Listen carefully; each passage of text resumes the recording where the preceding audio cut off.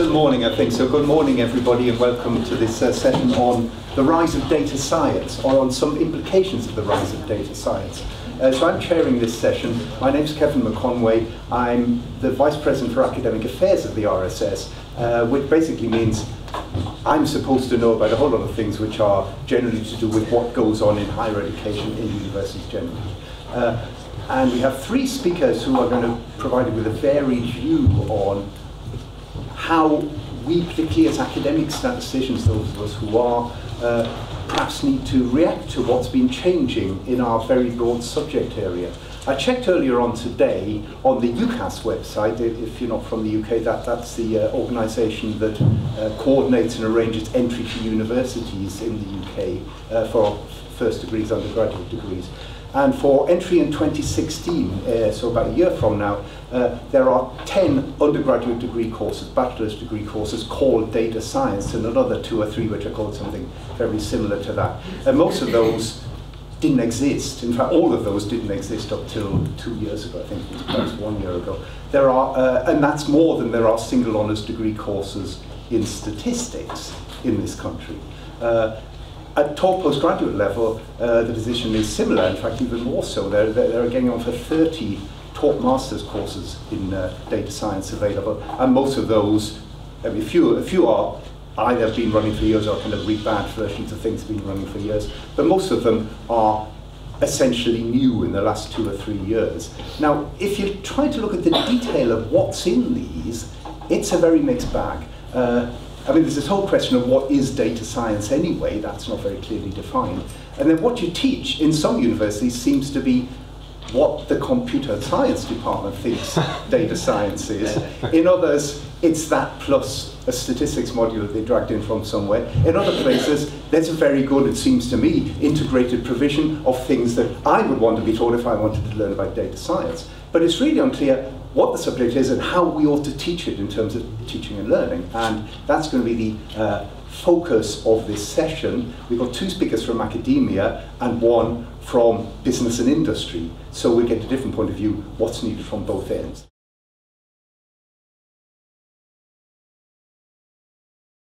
Excellent. Okay. So this is the topic I was asked to address.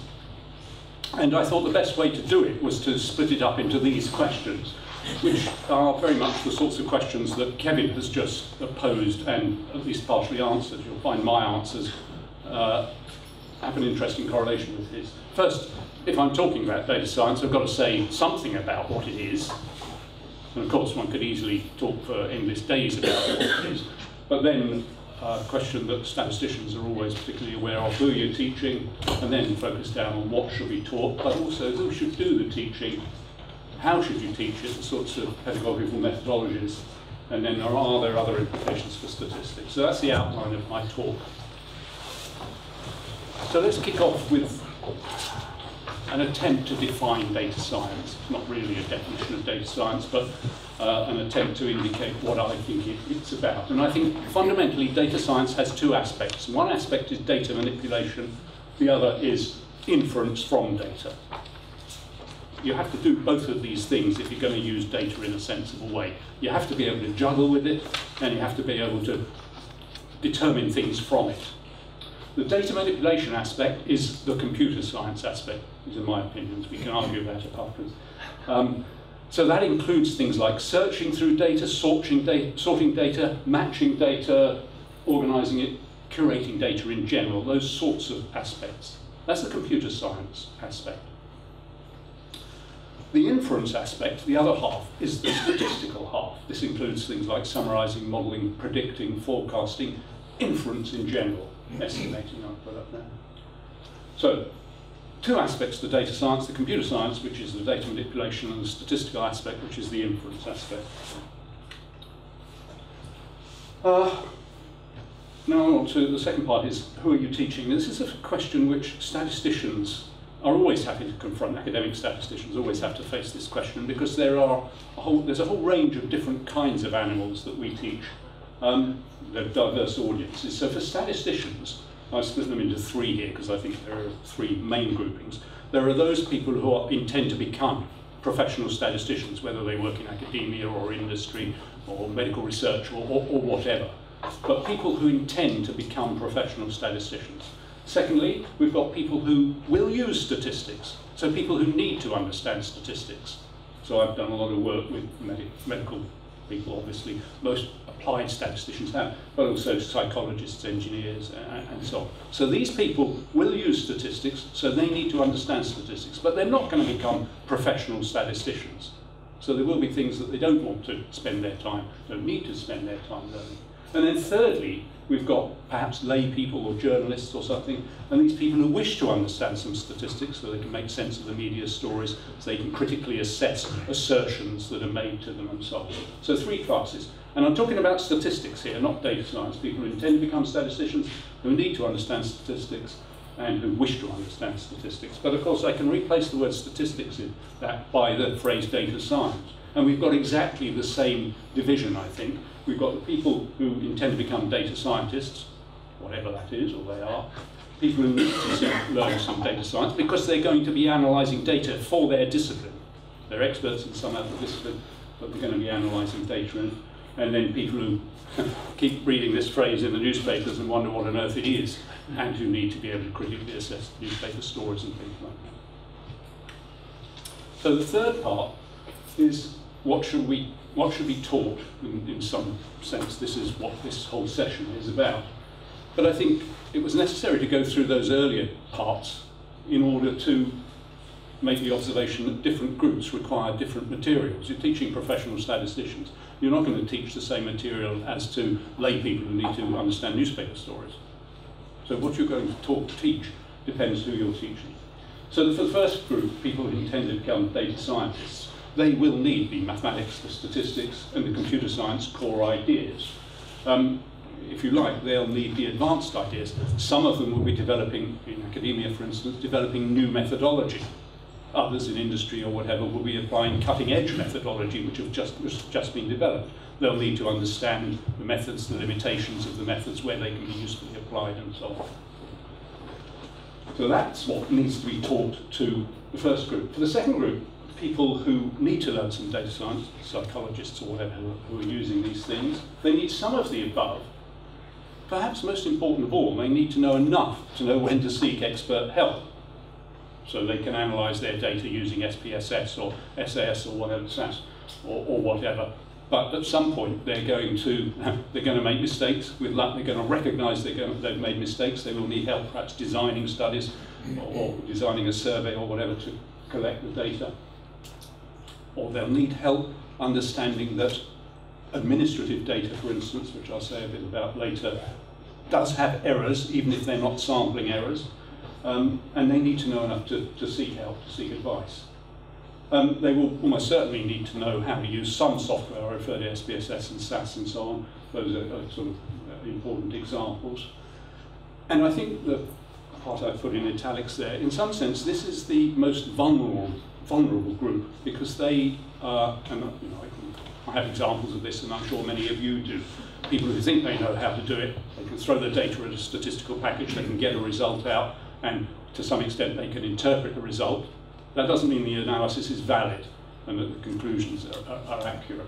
And I, so I think this is a particularly, potentially a vulnerable group. Um, and then the third group, the lay people, I've called it lay people here, but it will include journalists and so on, who wish to understand the data science. They need the rudimentary ideas, um, and perhaps they need to understand some of the more important basic errors. I'll say a little bit about that in a moment. Like Kevin, I did a quick search of what is taught. I've just said what ought to be taught at a very superficial level, but I did a search of what is taught. And what I found more or less conforms with what um, Kevin said. What I found was that there are a lot of courses have sprung up over the last few years.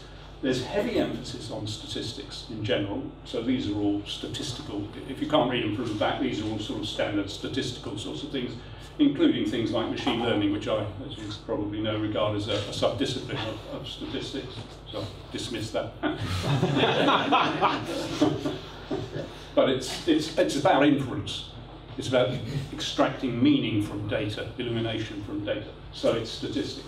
So a lot of statistics taught in these data science courses, but also some computer science. These are the data manipulation things. And to be a data scientist, you do need to, as I've said at the beginning, need to understand these data manipulation aspects. And I, the things I put up there are databases and relational algebra, parallel databases, and I've put these to MapReduce, Hadoop, Spark, Graph, Giraph, database, and so on. Uh, statistic, uh, computer science sort of ideas, SQL, NoSQL, something about data capture technologies, perhaps, measurement technologies. And then at the end there, I put ethics. A lot of the courses, and I think this is, is important and good, a lot of the course, a lot of the undergraduate and master's courses seem to have a module on ethics. And this is, of course, critically important um, in the modern world, especially in contexts where um, data are used, and in some sense, this is the essence of big data, of data science. Data are often used for secondary analysis. They're collected for one purpose, and then they go off to be used for something else. They possibly go off to be combined, to be merged, matched with other data sources and then you get all sorts of subtle privacy, confidentiality, ethical issues coming in. So seeing ethics modules in a lot of these courses was quite encouraging to me. Um, you, you to have ethics courses in every statistics degree taught, but I think not all of them do that. So I thought this was good. I think other things which I didn't see so much of in the courses I looked at anyway were things such as computer simulation, absolutely critical in the modern world and in the modern world of data science. Or, or perhaps some data scientists think, well, we don't need to simulate things, we've got a lot of data. you know, for, in a lot of applications you do. Um, unstructured data is, of course, critical. The classical statistical set of data is a, you know, is a, is a table of numbers. But of course, increasingly in the modern world, we use what sometimes called unstructured data, text, images, signals, things like that. Large data sets do have particular challenges. They obviously have data manipulation challenges. If you've got billions and billions of data points, searching and sorting poses data manipulation challenges, but they also pose inferential challenges. And I think the particular challenges of large data sets need to be taught in data science courses because the number of increasing large data sets being collected and collated is increasing. Interactive data visualization needs to be taught in these courses as well, and I didn't see much of that. And then, particularly important, I think, data quality. This is absolutely crucial. You will probably all have examples of how missing values or misrecorded data or transposed digits or some other kind of distortion has led to invalid conclusions, invalid analysis. So I would like to see explicit modules in these data science courses on data quality and data quality issues. I put an uh, analysis and quality of administrative data there as well because administrative data is different from the data which a lot of us as statisticians were brought up on. We were brought up on data which is collected from an experiment or a survey, but administrative data are collected as a spin-off of some kind of exercise, credit card purchases or, or health education records. So people sometimes assert that you have all of the data, so you don't need to worry about sampling error and things like that. And that may well be true, but there are all sorts of other kinds of errors which we're not so familiar with which can creep into administrative data. And I think we as statisticians concerned with inference need to focus some attention, some research attention on, on, on coming to terms with that so that we can say sensible things about the certainty, the error bounds of the conclusions we draw. We don't have much experience of this at the moment. So data quality of administrative data is um, very important.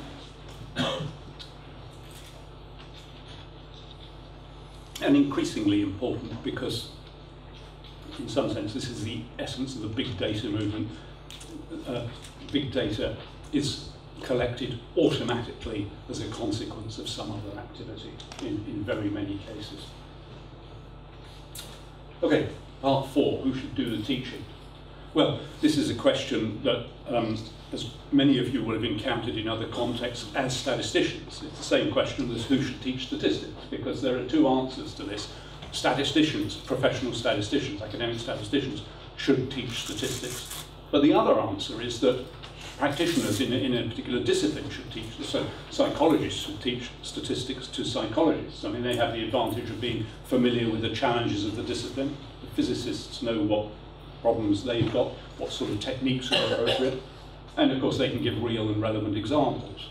But on the other hand, of course, uh, they may not be aware of cutting edge new methods which might be appropriate, and they may well not have uh, as, as good a grasp of the statistical ideas, methods, concepts as professional statisticians. I said here, a weaker understanding of statistics, data science, and so on. So exactly the same uh, applies um, for data science here as statistics. And we've all seen Howler's five minutes left. Good. Yeah. We've all seen Howler's in statistics texts written by non-statisticians. These are these are some of my sort of favourites. These sorts of things, and I'm sure you all, all have your favourite examples of fundamental errors people have made because they slightly misunderstood things. And it's not it's not just um, you know the people who make these mistakes will be naive, if you like, lay people, but they will also be skilled professionals in other disciplines. How should you teach it? Depends who you're teaching. Remember those three groups, obviously including real examples. So I'm talking about data science, but it's the same sort of thing that applies to statistics. Real examples, especially for domain specialists, stress on real data. Data science, fundamentally a practical discipline. There's the question of whether it should be called data science or data technology or data engineering. So very much practical, and obviously one needs practical projects.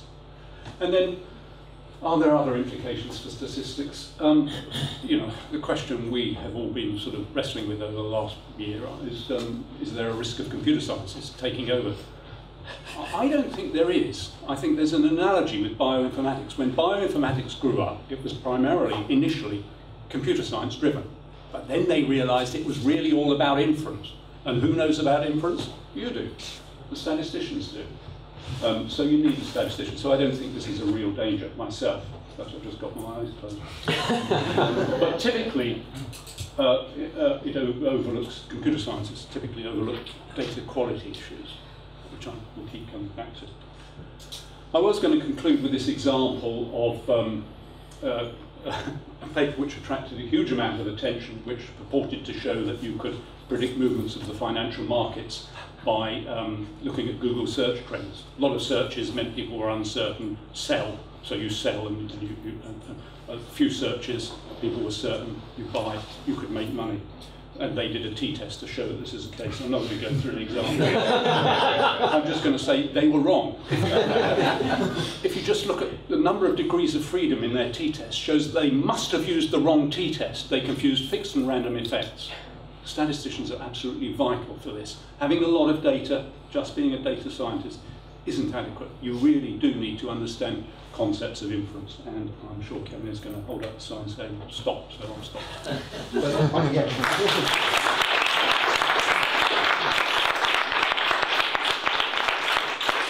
are, there, are there questions or comments on this? Um, a lot of the programs, at least in the US, for data science are constructed by non-statisticians, and I find a lot of the content focuses on just sort of plug and play without yeah. learning about the inference or the assumptions to actually use the test. What would you suggest that statisticians do to try yeah. to fix that? Because it's a little scary to see people going out using all sorts of very advanced techniques without understanding when is a good time to actually use it. Yeah. I, I, I think, I actually think this will solve itself, like bioinformatics, when people realise that uh, the people who have learned those skills haven't really got enough to be able to do something useful with the data. I mean, my sort of classic example of this is computer science database people who are interested in making assertion statements about what's in the database. But most problems are not concerned with what's in the database. They are problems about infer making inferences to other populations, making a statement about the future. So you do need inference. I actually think this problem will sort itself out. But nevertheless, uh, that doesn't mean we shouldn't sort of encourage it by sort of saying, ah, yeah, but you don't, you, know, you, you need more than this. You're trying to make a statement beyond what you've got. Um, what was in your second talk?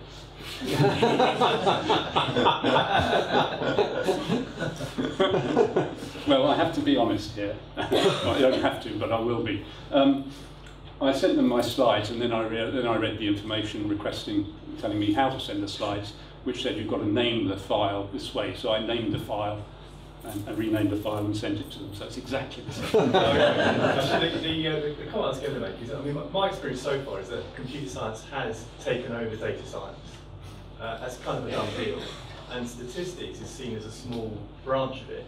Um, but if you want to employ a data scientist um, within a company, um, what, what a company's looking for really is the perfect candidate that, that knows about everything, extract, transform, uh, transform load, you know, data visualization, modeling and everything. And that person doesn't exist. Um, so data science is sort of a spectrum and, and really That's you, need, true, you yeah. need people skilled in all of those aspects. Some will, some will be very heavily technical and at the computer science end of it and some will be the statistician. But I think there's a real danger that um, you know, a statistician won't be considered as a data scientist. Um, and I think that's what the Royal St- Statistical Society has to tackle, is kind of embracing data science and embracing uh, those other aspects within statistics and within the qualification of being a statistician. Yeah. I, I, I'm not so worried because of the analogy with bioinformatics, which started as computer science, is now recognised to you know, be very, very heavily statistical. But your point about a range of expertise is absolutely certain. You're, you're going to have people who call themselves data scientists, some of who know very little statistics, but a lot about the data manipulation, computer science aspects, and other people at the other extreme. So there's inevitably always going to be a range. Of course, you get this range within statistics itself. You get this range within computer science. I mean, you talk to people, some person who's an expert on compilers, they know nothing about databases and so on. Yeah.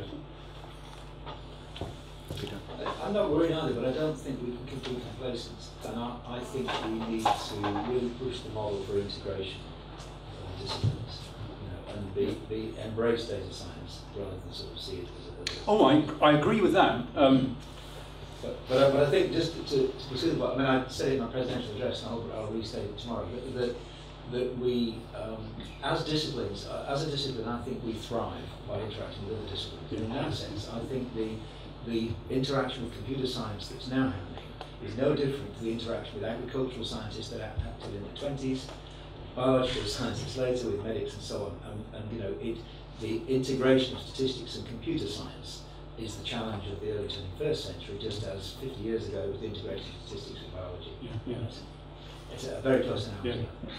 I was talking to Roland earlier, and I agree about the, the need to push our sort of role in this.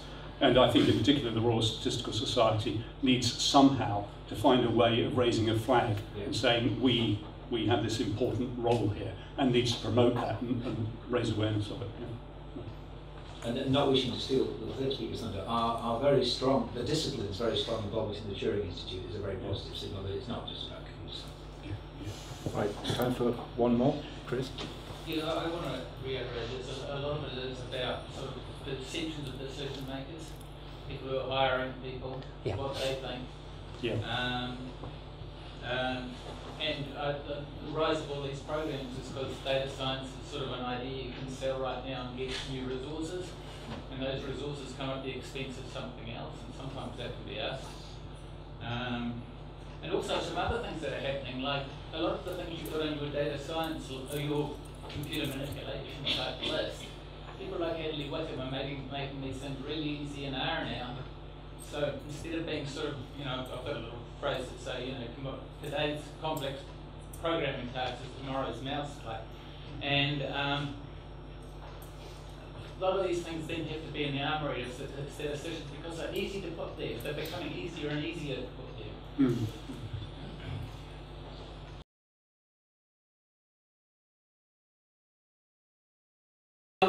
First of all, can everybody at the back hear me?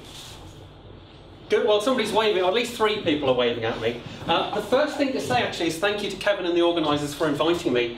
The second thing to say is probably what Peter's just said and the gentleman just to his right has just said is about half my talk, actually. um, so I've obviously clearly got something that's, that's worth talking about. But firstly, what I am going to talk about is just to outline my background. Kevin's given a very top line view.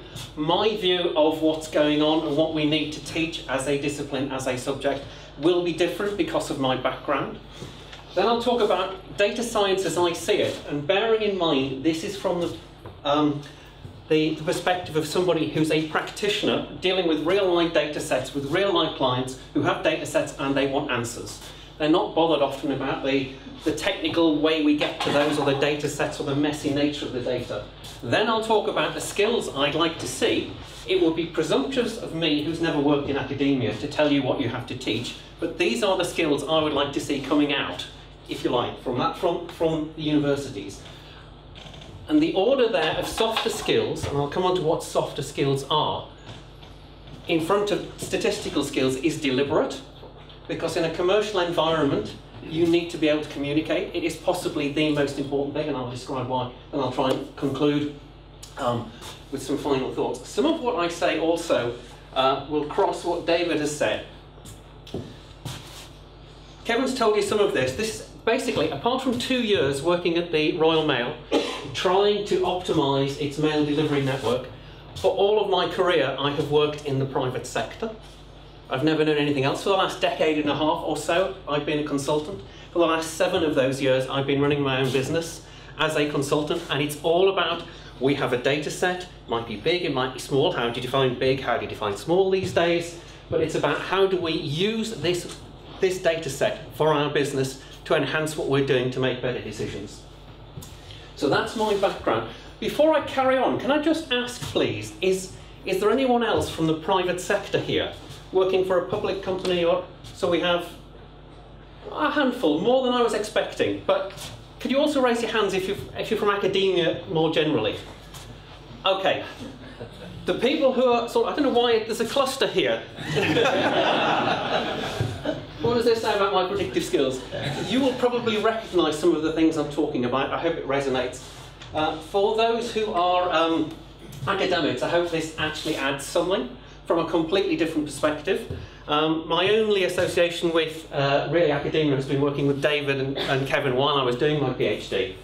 Uh, but my starting point is I don't care what we call it. If I look back a few years ago, it was big data, it was big data analytics, it was data mining before that. It's the same fundamental problem.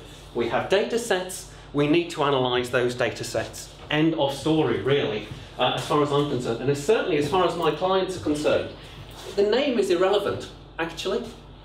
But there are, I might, because of that, take a slightly wider view of what statistics is, what statistics ought to cover, which covers some of the things that Peter mentioned. Um, because coming from my background, which as I say is entirely about uh, helping people, clients, get the most out of their data, data are the most important part of statistics. Fundamentally, that's it. Whether you call it data science, whether you call it statistics, what else? Whatever else. Uh, if you haven't read Breiman's famous paper, The Two Cultures, statistics starts with data. I agree with that. Bill Cleveland said something very similar the same year. Um, Tukey actually go back more than 50 years.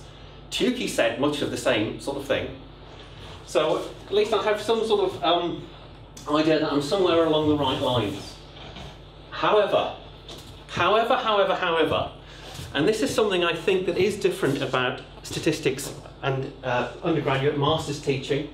Uh, the big defining thing, feature about uh, data science as it's become known is massive data sets. Huge data. I didn't know what number to put. 10 at the end observations where any is possibly much greater than. I could have put 12, 99, any number in there. But it's big data sets. And the problem with those big data sets is has been facilitated by modern computing power. We can now do things with data sets we could not have done in the past because modern computing is so cheap. Uh, what that of course means is, and this touches on something that David mentioned, um, I didn't have the nerve to put machine learning as a subset of statistics, uh, but I know David's publicly expressed that view before. But other, other disciplines, they have, the, they have the computing power, computers are their lingua franca and they have big data sets sitting on those. And I think if we're not careful, Peter's point, I think, was that we need to communicate because the, the big data sets are sitting with these sort of people. We need to engage with them. We need to know something of what they do. Um, I don't know if any of you subscribe to the KDnuggets, Knowledge Discovery in Databases um, oh, unfortunately, the link disappeared off the bottom. This is from the 12th of August. Somebody wrote a blog on there saying, what are the components of a successful data science team? uh, there were three. I don't see a statistician mentioned there.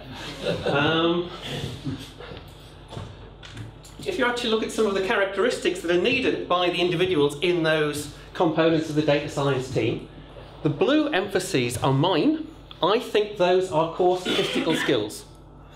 We need those as statisticians. Capturing the data, the most fundamental thing actually, I particularly like the bit, the data engineer does not need to be very academic. No, please.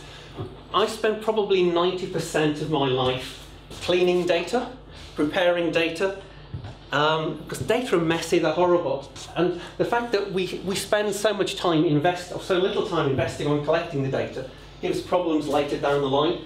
David's explained some of those. Um, the machine learning expert at least has a statistical background, according to KDnuggets. Um, the business analyst, exceptional analytical skills. But really, this is my starting point. We need to talk to all of these groups of people, otherwise we will be excluded. And part of this is about language, and I'll come back to that, the language we use. So, um, before I talk about the skills we need, for those, the vast majority of you who, who aren't uh, in private companies, what we need is basically companies want answers that are timely, practical, and useful. And there's a massive difference between practical and useful. Practical means I can do it, I can implement what you found. Useful means it makes me some money, basically. Um, sorry to be, if that sounds slightly cynical to the academics in the audience, that's basically what commerce is all about. We make money, we reinvest it, we make more money. Nothing particularly wrong with that. However, companies have mountains of data, little time to do the analysis, and the reason there's little time is because of commercial pressures. Today, if you introduce a new product, six months later, somebody will have copied it better than you. You need to move quickly. And six months actually these days is, is really a lot longer than is needed for some, some companies. They also have relatively few skilled analysts. So, add all of those together, before I start, start talking about the skills we need, this echoes David's point. Statistics must be taught as a practical subject because our clients want answers. Now, I appreciate that many of the people you'll be teaching will not go into um, the private sector, will work in research institutes or whatever. We all have clients. They're just different clients. Their motivation might not be making money. Their motivation might be finding a new cure for a disease, but whatever. Statistics is a practical subject and it must be taught as, as such. So why are the core skills, the softer core skills so important? Essentially, it's because I've seen too many good analyses go nowhere because the statistician couldn't communicate with a non-statistician. It's a real fundamental problem I think we have. We have to teach people to communicate. We have to be able to influence, I'll come on to that, and use appropriate language. By which I don't mean we shouldn't swear at the client. We all want to do that from time to time. We need to use the language that the client will understand. That's, that's the most fundamental thing when we're dealing with others. Um, and also, um, I'm not sure really, this commercial awareness is much softer, but it's, a, it's, it's how do I fit in to a company? How do I work with my non-statistical colleagues? Because you will often find yourself working either independently because you're the only statistician on the project, or as part of a non-technical team. You need to explain to those people what we're doing, why you're doing it. Um, I don't know how you teach this. If you want to express it in statistical terms, it's about estimation, it's about error bounds, it's about likelihood, it's about probability possibly, but it's common sense.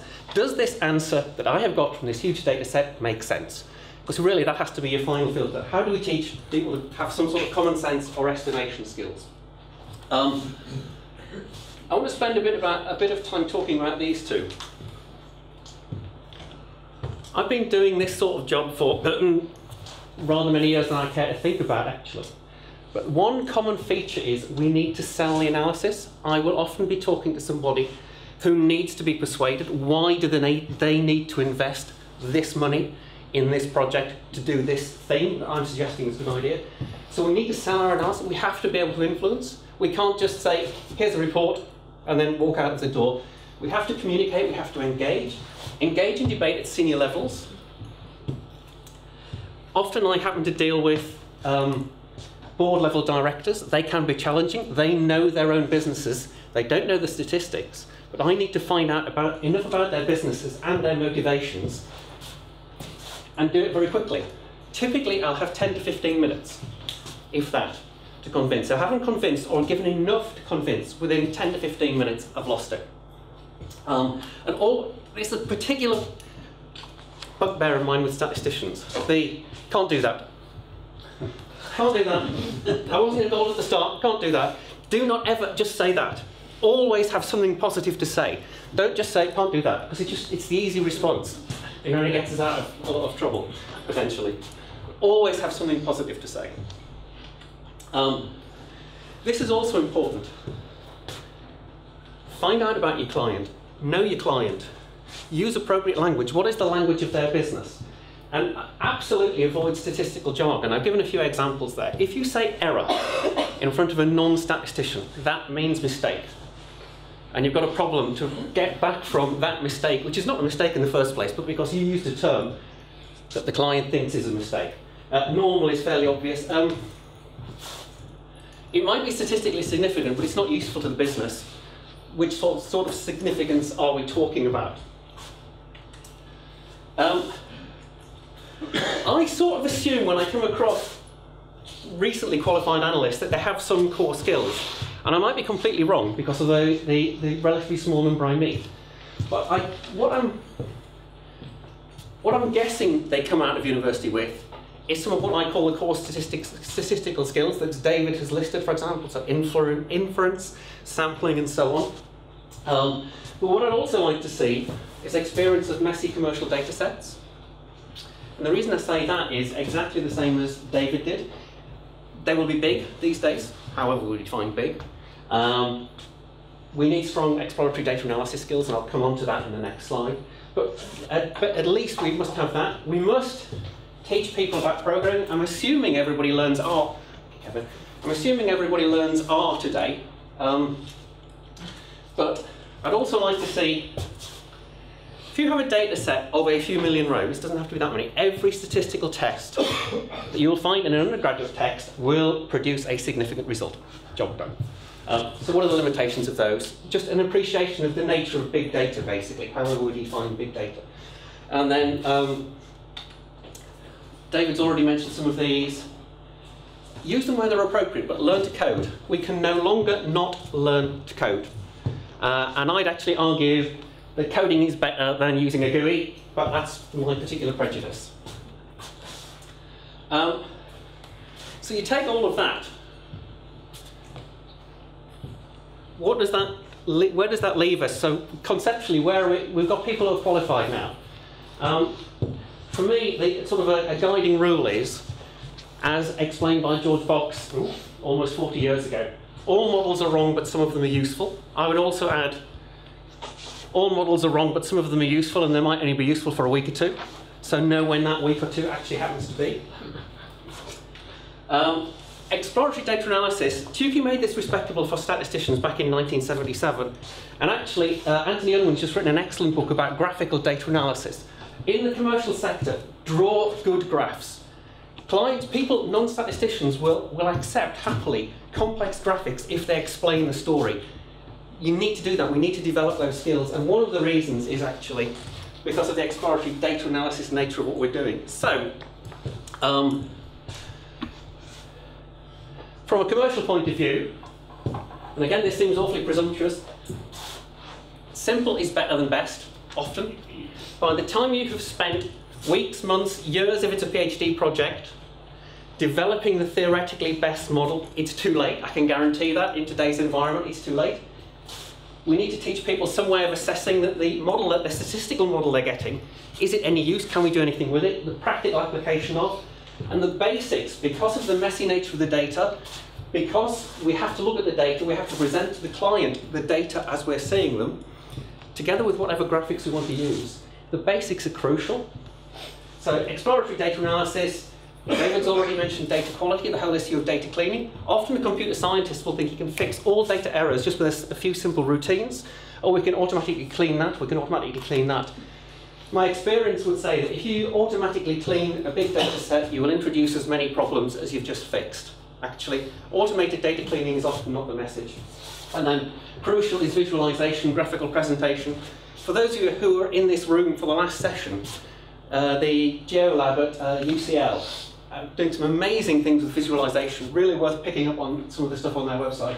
But crucial because clients it's much easier to explain a complex data set with the right graphic, if we can just find that. So graphical visual, visualization skills are crucial. So in conclusion, um, the skills needed are, and again, this is deliberate, I assume the technical, the statistical skills are there. I want to see the ability to communicate, the ability to influence, knowing what language to use at what time, common sense, the ability to manage time.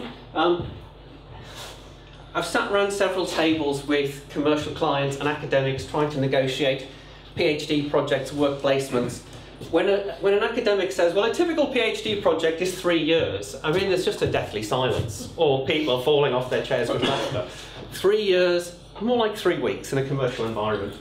How to manage that time, how to manage your time also, things like how, going on how to be a better people manager course. Uh, and the ability, fundamentally, the ability to work with non-technical colleagues.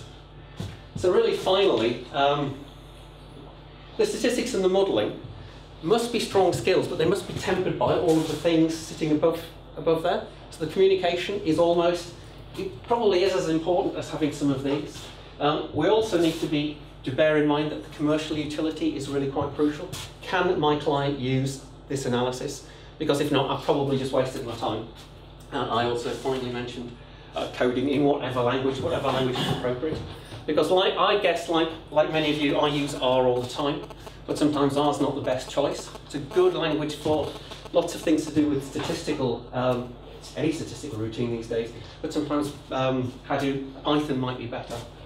So I hope that's been interesting. Uh, I hope it struck a chord with those who work in the private sector. I hope it's been of use to those of you who are in the academic sector, but I like to see these skills, and actually the ones above four, well, four and above, are as just as important from my point of view of the, the technical skills that I know we all want to teach, or I'm guessing we all want to teach.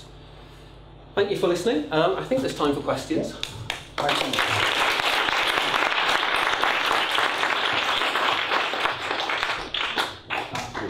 Yeah, there's a bit of time for questions, and luckily the third speaker's turned up. Perhaps before the presentation, I'll just explain the strange position that in a masterpiece of timetabling, our next speaker, Sofia, was scheduled to talk she's giving two talks in the same session at the same time.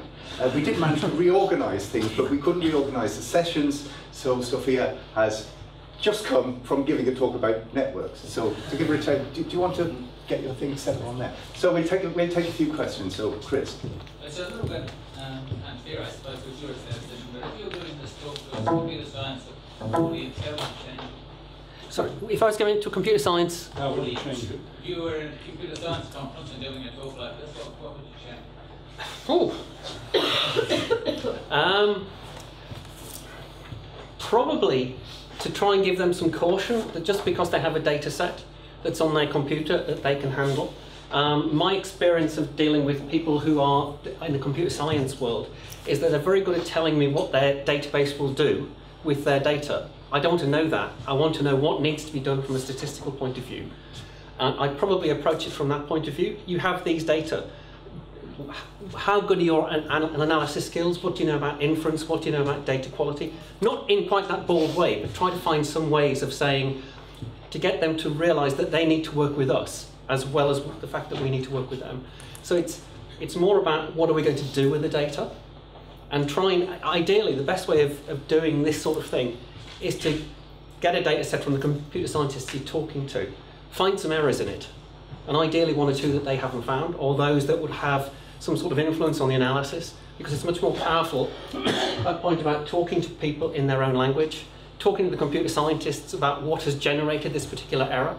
So for example, um, I came across one where the uh, programmers had arranged a data set that was had a, a human entry entered date of birth, and they realised that um, we can we can force people we can force the key keying operators to enter six digits, um, but actually we're going to make sure that they can't enter zero zero zero zero zero zero. But there are an awful lot of people who were born on the 11th of November 1911. So it's things like yeah, yeah, it's things like that because they hadn't thought about 11 11 11 and obviously 22, 22, 22 is not a, a valid month, a valid date. So it's, it's things like that. But again, it's in this case the computer scientists are the clients. So it's what what is their motivation? Because typically they seem to me to want computers that will run faster or will shave seconds off this algorithm. Well, actually that's not important. If it takes another 10 minutes, I don't care if that algorithm is better than that. And it's to be to talk to them in that sort of way about what we're trying to achieve rather than necessarily what your computer can do. I hope that has in some way answered your question. Other questions? So I, I agree with just about everything you said. Well done. I've got one thing I think is missing, and it may be my background. So I work for GSK mainly on biological problems. Right. It seems to me that design of investigations is still central and not sufficiently appreciated. And neither of you has mentioned it, so I thought I'd ask what you thought about it. Um, it's probably a, a question, actually, I'm not trying to avoid this, but better directed to David. I, I will say something about it. Yes, the reason I don't talk much about it is because all of the data sets I see are what's sometimes called administrative, sometimes called found, sometimes called opportunistic. They're presented to me, so I rarely have a chance to get involved in the specification of, but I would agree entirely. Um, it's just too easy now. Data sets are collected all over the place for all sorts of purposes. Just to say, oh, we have a data set, let's do something about it, without actually thinking about the provenance of that data set. And you're absolutely right. Yes, it's something we need to consider, but I, yeah, it's a limit to what we can do this morning, but I agree, it's, it's very, very important. Any more?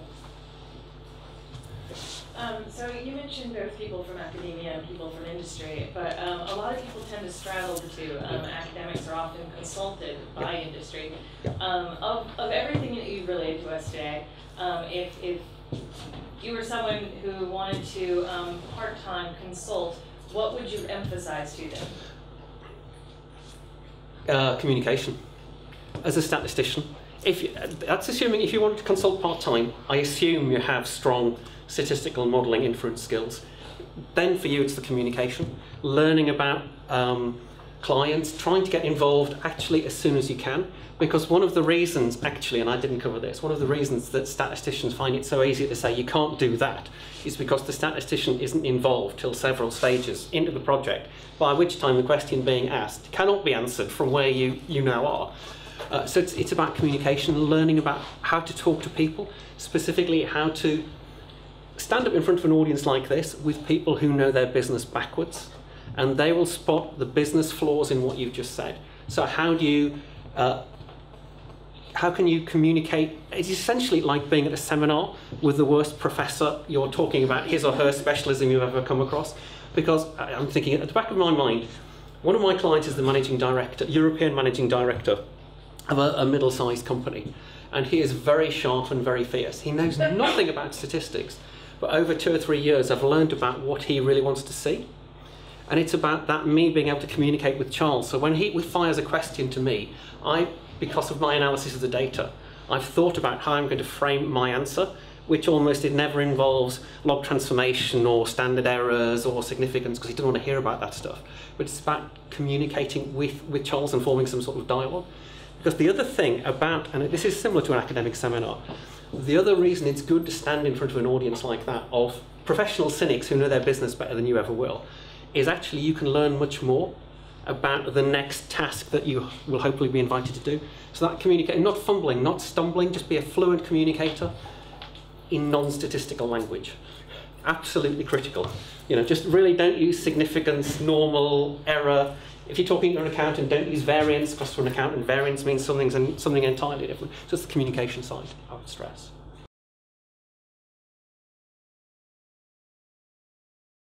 So my talk, well, I'm at a disadvantage because you've all heard David's talk and I only heard half of Gordon's talk.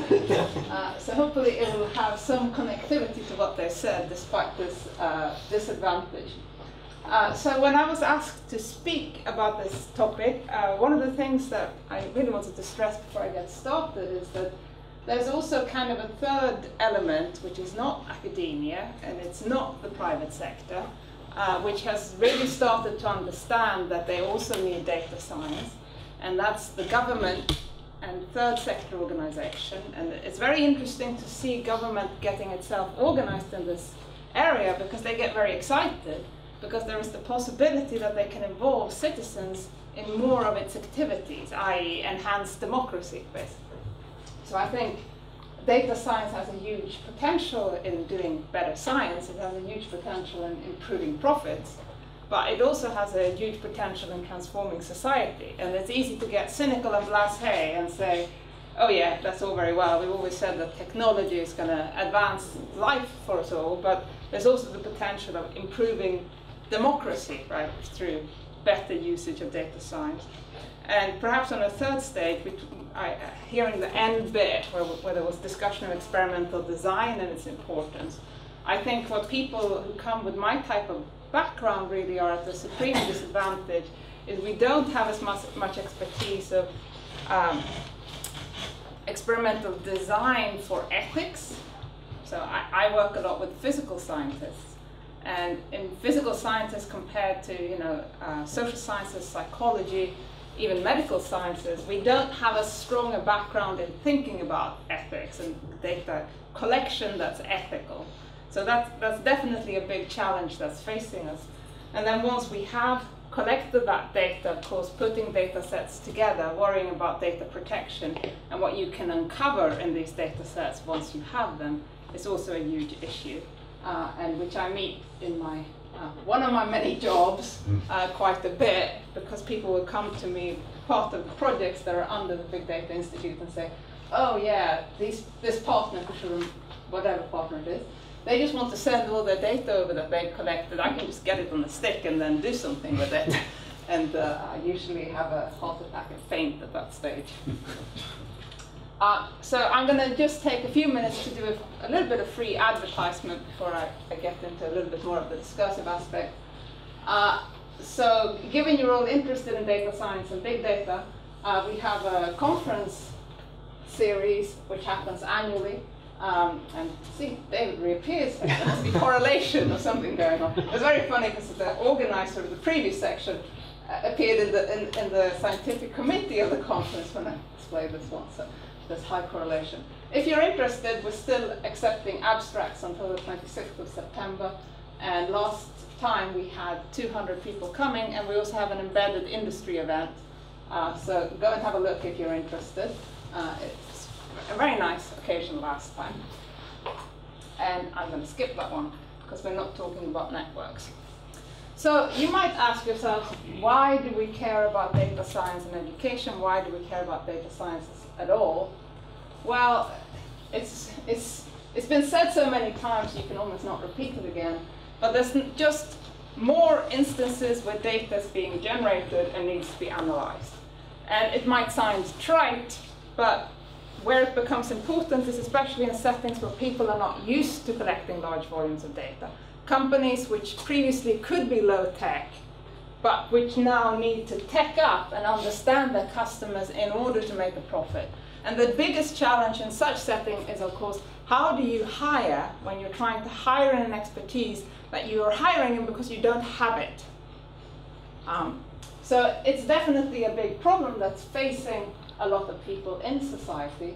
And why do people in academia think it's interesting? Well, obviously our interest is we can trick more students into doing maths, which is beautiful. and once we trick them into doing their first degree, we can probably trick them into a PhD, which is really wonderful.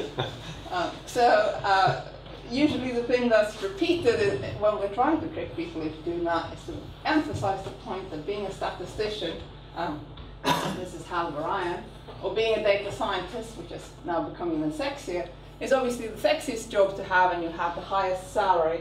And if you check uh, sort of graduate salaries, data scientists seem to get a, a kind of a key advantage compared to what computer scientists on their own used to get. So that's why. So what is this? So I asked David if he was going to define data science, and he said maybe. Did you define data science? a couple of slides. A couple of slides. Okay, so one of the key issues in this space is that data science has an identity crisis. It doesn't quite know what it is, right? So sometimes it's math, sometimes it's stats, sometimes it's psychology, sometimes it's computer science. And if you start to think about educating people in these areas, you can't just add more and more material and say people need to learn all of these areas in order to contribute because you can't have a syllabus that's everything in all of these areas. So the question to ask yourself is, is there underpinning coherency? Can we think about other areas to become quantifiable and really learn from how they took advantage of other fields? In a question. Is that a question at the back? Yeah, let, let me ask Kevin a question first, because um, I'll, I'll, come back to you. Uh, a few years ago, Kevin um, chaired a, uh, a, panel which wrote a report for the Royal Statistical Society on the training of statistic statisticians. And if my recollection is correct, he came to the conclusion that there weren't enough being trained in the UK for the sustainability of the discipline. So what I'd like to ask him is how things have changed. Have they changed for the better or the worse in the context of the modern world of data science?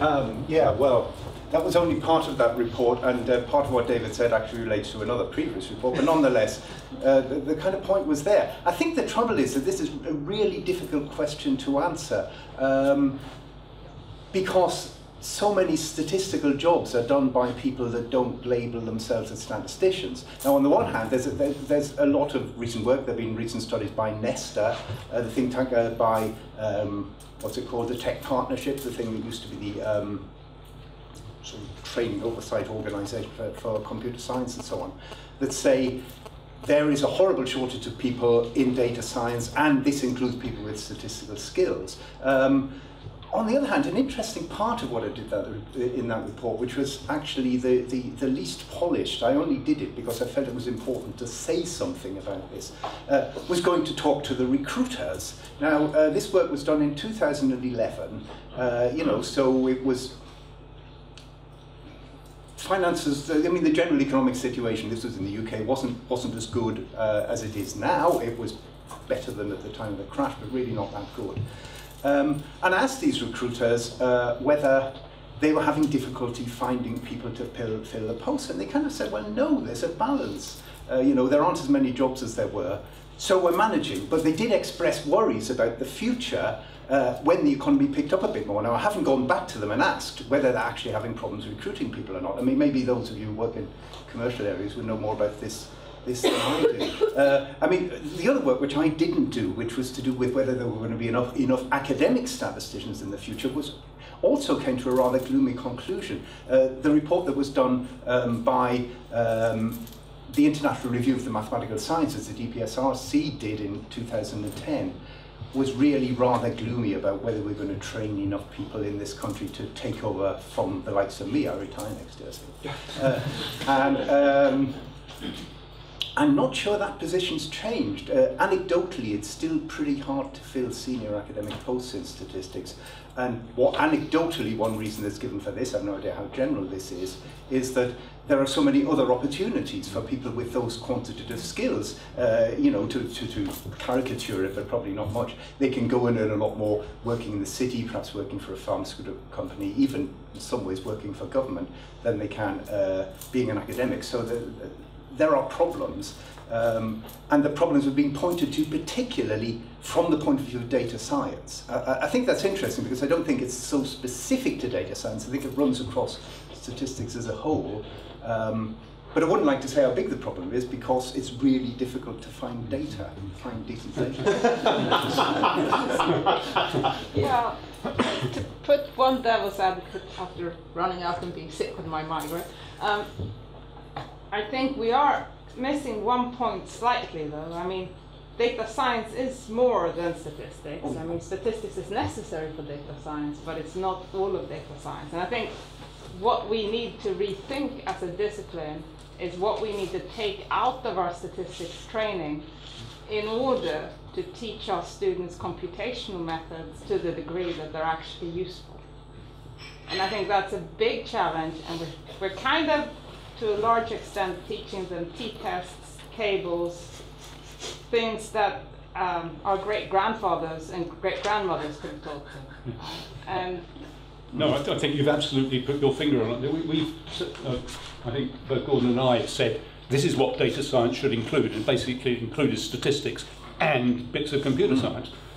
We have to, you, you can't do that. You have to say, so what bits of statistics are you not going to teach? I think that's a very good point. Yeah, and, uh, I, I think I just saying that it's not even a new point. It's the emphasis on it has Sorry. changed, but the the um, it's a point that's been around for a long time, and we haven't been paying enough attention to it. I, th- I think that, or the discussion of data science is important because it's drawing attention to it in a way that that hasn't been as acute. One of the things that uh, you know, when I did this this work that we were talking about before, and this was in 2011, data science wasn't so current as a term, and the recruiters I talked to were mostly people recruiting to areas which would probably not even now be considered to, to, to be data science, in the sense of big data and so on. They were mostly pharmaceutical recruiters and people like that. Um, and what they were saying was there are skills missing in the graduates, people coming with a first degree involving statistics or a taught masters. And what was missing was essentially those soft skills, the communication skills, and so on, that Gordon described. And, and, and they said, you know, the problem we would have with placing somebody straight off an MSc is that they would not possess those skills. If you got somebody who'd been working in industry for a couple of years, um, they might be not quite as up to date on the statistical stuff, they might even have forgotten some of it, but they did develop those other skills, and that's what they were on about. Now, if they're saying that's a lack, and there's all this um, computer science uh, material that needs to be got in as well, well, uh, what do we leave out? Does anyone have any suggestions? Parts of that is also there's another lack, and if you get people in business who have soft skills, they need to understand enough of the high level quantitative methods to speak to quantitative people. So if you're coming from another side, yes, we need to learn to communicate and to formulate ourselves simply. And if we understand asymptotics, we need to boil down that to the basic point that makes the method work or not work in a certain setting. But if you come from the other side and you're now having to interact with quantitative methods, how can you get so much of an overview that you know the right person to go to? Right. There was a, There was, there was one at the back first, I think, in fairness. Yeah. Picks up a little bit of that discussion there. I think it's much more, I spent this listing a lot of the differences between academic and say private sector. And actually, I worked in the government sector. What I noticed was how similar the recruitment requirements I would have for data scientists and also for um, statisticians were to the private sector. It's the soft skills, communication, and aren't they relating on to the last point? It's actually, I think in my dream world, we would have people who have a lot more understanding of the quantitative methods than they do. That we have to start from where we are and just even like starting and recognizing that not everybody understands the difference between numbers moving in the right direction and causality is where many of the people we're talking to are at. And so what I had was, I think there's two things with that. One, I think is the skills that ability to communicate more than anything to do with technical or computing. I grew up at Trinity University long before data science was, um, came about. And as part of my science degree, I still naturally love programming as part of it. So that bit's not new, but the demands and communication skills are the thing I feel most key. And thinking that, and the question really comes in reflection was actually, given I'm seeing so many similarities between the private sector and the government sector here, then actually how big a gulf is there really between the academic sector and the private sector? Or are we overemphasizing it and the need to feel a bit different in some way was kind of the point? Uh, I- for me, um, one of the big differences between uh, from how I see the civil service works, which is fairly limited exposure, from certainly how the private sector works, a major difference between that and academia um, is that academics, to a certain extent, you can do what you want. Your research programs are actually, you know, the, the things you choose to research are what you want to choose to research. They're the things in which you're expert. In the private sector, I earn my living, uh, as I did when I was employed as an internal analyst in companies, actually answering the boss's questions. There's and in the civil service, I guess it's much the same. Your political masters or your permanent secretaries will say these are the important things. So conceptually, it's not that different, but believe me, it is very different. If you, as an academic, can, can choose to publish in JASA or JAMA or wherever, because this is your particular area of interest, and you have that choice to a large extent, Whereas in a commercial environment, in, in many other environments, you don't. You work on what your boss tells you to. Can we take the question from here? Yes. Um, Leon, you're talking about the lack of skills of um, people leaving university. If there was more collaboration between private sector and universities, do you not think those those skills could be um, foreseen in advance? What the what, what the lack will be? Hmm. Yeah. Um, I mean, there is a problem that's difficult to organise, but I'm sure you're right that there'll be a lot of gains if we did more of that. And I think the extent to which it's done differs hugely from one university to the next. Um, I, I mean, I think it's also true to say there are different attitudes on this. I sometimes talk to um, colleagues in academia and outside academia whose view would be that actually we shouldn't be worrying about those sort of things. Um, you know, the main, main thing is to get you know the, the, the fundamental uh, mathematical and statistical and perhaps bits of computing base down there, and the rest can sort of follow naturally or something when, when, when people eventually go out into the workplace. I mean, personally, I don't agree with that, but it's actually quite a common view in academia, and that, that does get in the way, I think. I, I think one of the problems is that universities are businesses, and so they will respond to market forces. So the drive will come from people who want to study a particular discipline. So, for instance, you get more people taking masters in mathematical finance than there are jobs for them when they graduate. Mm.